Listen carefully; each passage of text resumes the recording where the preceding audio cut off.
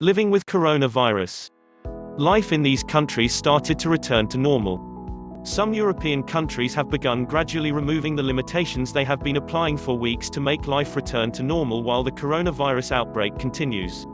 Italy and Spain, where the new type of coronavirus epidemic is the first and most common in Europe, is one of the countries aiming to reduce the daily dead and case increase and gradually bring life back to normal.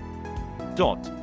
In the fight against COVID-19 for more than a month, the two Mediterranean countries, which have taken control of the increase in the number of dead and the number of cases, are working on a national scale and in the European Union (EU) to correct their economic and social systems suffering greatly from the epidemic. Experts attribute about 35% of COVID-19 deaths in the world to be seen in Italy and Spain, to take late precautions, to lack diagnostic tests, to increase the elderly population in both countries and to the socialization culture. The slowdown in the number of new cases after Italy saw the summit between 969 and the 27th of March in Italy and 950 and the 2nd of April in Spain accelerated the return to normal discussions in two Mediterranean countries that do not want to experience any further losses. It will not be possible to return to normal life completely without a vaccine. Spanish Prime Minister Pedro Sanchez and ministers, who use the word many times, are also looking for ways to minimize the economic and social losses of the virus.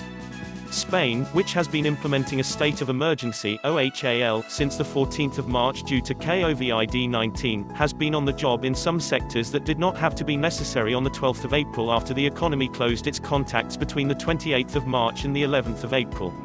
While construction, heavy industry, production-oriented SMEs and small tradesmen are working again, shopping centers, restaurants and cafeterias, places where all collective events are held, are kept closed. The government states that the state of emergency, which should be extended every 15 days by law, will not end on April 26, but will be extended once again until mid-May.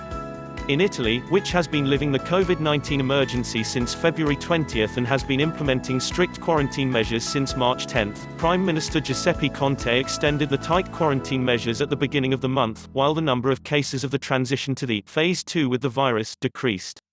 He said he was connected, Conte, while extending strict measures until the 3rd of May, is stated that the second phase will start on the 4th of May in Italy. With the relative decline in the number of cases in the country, it was allowed to open bookstores, stationaries and shops selling products for newborns yesterday in 14 regions.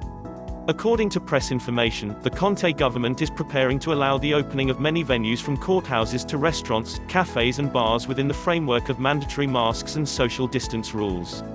The situation of Italy and Spain, whose economies were negatively affected by the COVID-19 epidemic, was reflected in the latest predictions of the International Monetary Fund (IMF). According to the IMF estimates, Italy will pay the heaviest price of COVID-19 in Europe. Italy is expected to contract 9.1% this year and unemployment will reach 12.7%. On the other hand, 4.8% growth is expected next year. In the country, where billions of euros are lost, the Italian Confederation of Industrialists, Confindustria, called on the government to start reproduction before it's too late. In the IMF report, another country that will be affected economically by COVID-19 is shown as Spain. It is anticipated that the total shrinkage experienced in the economic crisis in the country between 2008 and 2013 will be seen this year. The economy will contract by 8% and the unemployment rate will increase to 20.8%. While nearly 2 million people lost their jobs in a month due to the negative conditions created by the health crisis in Spain, it is stated in the analysis published by some research institutions that the loss caused by COVID-19 in the country's economy is in the range of 10 to 20 billion euros. In Spain, nearly 3,500 people who have violated the bans have been detained since March 14, when OHAL was implemented, while fines 100 to 3,000 euros have been imposed. While the Spaniards can go out of their homes to go to work only with the document they get from their workplaces, except for the pharmacy, market or hospital needs, they have to obey the curfew in all arbitrary situations except moving their dogs near the home. Primary, secondary, high school and university education, which is interrupted throughout the country, is tried to be done in limited hours over internet applications. According to the Ministry of Interior data, in Italy, where people went out with their permit documents, criminal proceedings were made about 2,893,941 people for violation or misrepresentation of the quarantine. In the capital city of Rome, a woman who said that she took her turtle to the air was fined 400 euros. It remains unclear when the educational institutions which have been on holiday since the 4th of March in the country will open.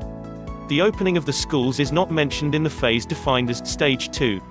I personally think that the opening of schools can be left to the next school year at the moment, but the Minister of Education and the government will make this decision, said Franco Locatelli, President of the Council of the Council of Higher Health of Italy.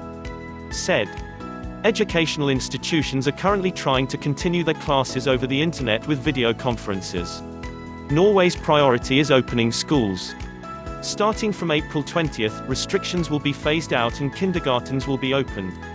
A week later, education will be resumed until the fourth grade in primary schools. Our goal is to ensure that all schools are held before the summer, said Prime Minister Erna Solberg. We've taken the virus under control by joining hands. Now we will gradually remove the restrictions. We will do this slowly, cautiously, without rushing, Solberg said. Ischgl, the famous winter sports center in Tyrol, Austria, was said to have played an important role in spreading the virus to other European countries. Austria has announced that it will implement a different method of removing restrictions. Prime Minister Sebastian Kurz said that Australia will begin to resurrect after Easter. Small shops, DIY stores and stores selling garden supplies were reopened yesterday. Starting May 1st, all shops, shopping malls and hairdressers will start to serve. Restaurants and hotels are planned to open in mid-May.